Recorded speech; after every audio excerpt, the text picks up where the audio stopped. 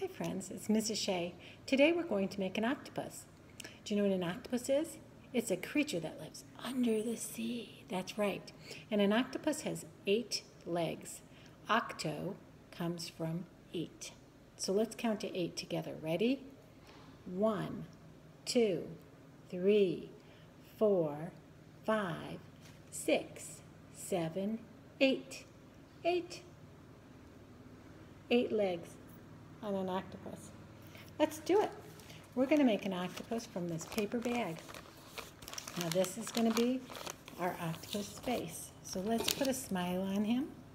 He's going to be a happy octopus. Mrs. Shea is using a marker, but you can use crayons or paints or anything you want. I'm going to do some two big eyes.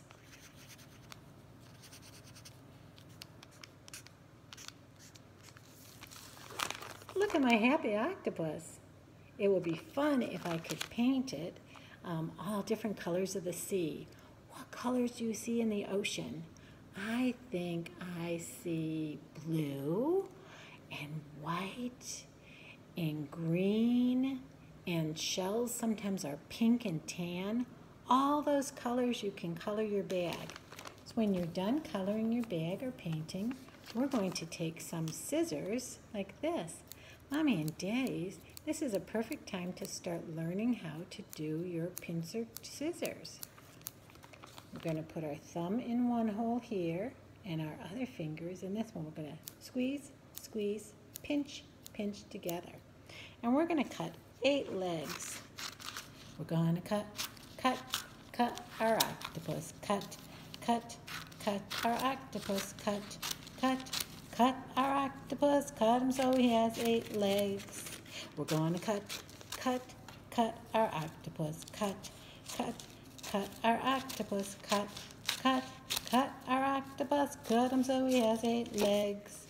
An octopus has eight legs. He does, he does, he does. Let's count how many I have so far. One, two, three, four, five. I need to do three more. We're going to cut, cut, cut our octopus, cut, cut, cut our octopus, cut, cut, cut our octopus, cut so he has eight legs. Okay, let's see what we have now. Shall we count them together? One, two, three, four, five, six, seven, eight. Octopus has eight legs. I love it. What do you think, friends? If you can make an octopus, send a picture to Mrs. Shea. Bye, friends.